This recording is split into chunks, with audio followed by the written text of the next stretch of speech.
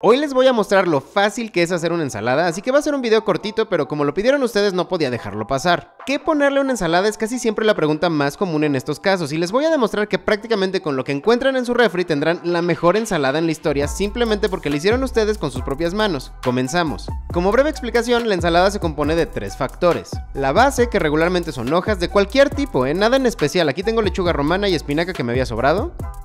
Como base también pueden usar germinados, el que tengo aquí es germen de brócoli, igual pueden usar el que tengan y si no tienen tampoco pasa nada. El segundo factor es el topping, que son las verduras y vegetales que agregan textura a su ensalada. Aquí tengo rábano, jitomate que me había sobrado, una zanahoria y cebolla. Todo esto lo encuentran en su refri seguramente, pero pueden agregar cualquier vegetal que prefieran, coliflor, hongos, lo que quieran. El último factor es la proteína. Aquí tengo varios tipos de queso, manchego y gouda. Finalmente también tengo queso cottage, que aunque les parezca raro es buenísimo en las ensaladas y sándwiches, se los prometo. Y ahora sí, armar la ensalada es lo más fácil, primero van nuestras bases. Algunos les pondrán kale, también arúgula, otro tipo de lechuga, germen de soya, pues aquí la idea es que sea tu idea. Lo importante de la base en realidad es que ofrezca volumen y buen sabor, digo, son hojas, pero sí debes de saber que la arúgula es amarga y la espinaca es mucho más terrosa, por ejemplo.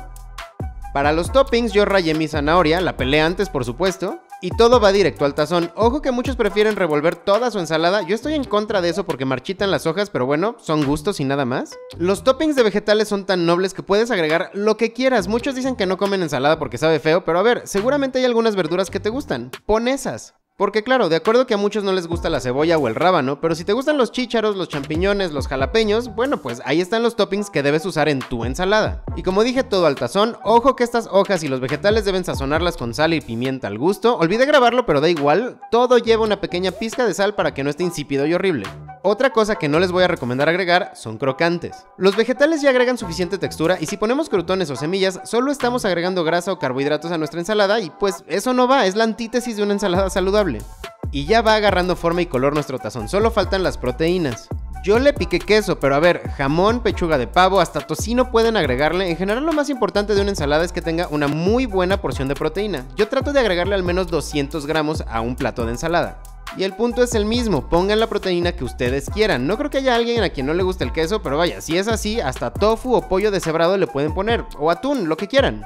Así se va viendo la ensalada, ahora lo único que nos falta es más sabor, por lo que le vamos a preparar un aderezo, muy light, van a ver. Pongan dos cucharadas de yogur griego, el que no tiene azúcar ni nada por el estilo, así blanquito, espeso lo queremos y más o menos una cucharada de mostaza, la clásica que usan para los hot dogs. Vayan viendo la intensidad que a ustedes les gusta en su aderezo, si quieren más, pues pongan más y ya está. Ponemos una muy pequeña pizca de sal y pimienta negra recién molida. Le agregamos media cucharada de miel de abeja, vean qué poquito le estoy poniendo, y revolvemos para integrar. Si les queda muy espeso, diluyan con un chorrito de vinagre y no necesitan pero nada más. Pónganlo encima de su ensalada y es momento de disfrutar. Yo no le pongo aceite de oliva porque pues es grasa, no me suena para nada agregarle engordador a una ensalada, lo mismo que los crocantes como ya lo dije. Tampoco le pongo limón ni nada por el estilo, al final con este aderezo no necesitan en serio nada más. Y listo, la mejor ensalada en la historia de las ensaladas simplemente porque la hiciste tú con tus propias manos. Mezcla ingredientes, cámbialos, quítalos, haz lo que tú quieras, pero siempre piensa en los tres pilares de la ensalada, que son la base, los toppings y la proteína.